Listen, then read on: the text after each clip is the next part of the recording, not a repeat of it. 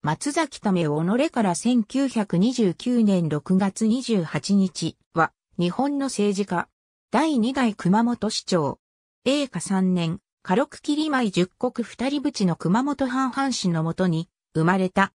熊本城下日向川塾で学んだ後、1870年7月、東京詰めにて中太兵の御用劇に任じられ、翌年帰郷、二番予備兵に編入し、藩兵解散まで務める。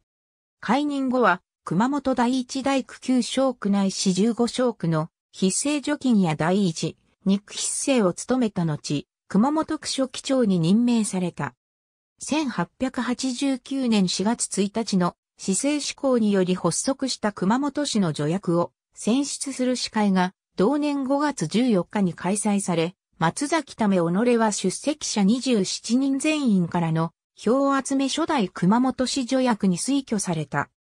1893年7月9日、杉村第八熊本市長が在任中に死去したため、熊本市会は同年7月31日の井上、薫内務大臣からの市長候補推薦の命を受け、24票を獲得した松崎を市長候補として権限した。同年9月15日付で松崎為己は市長に採決許可された。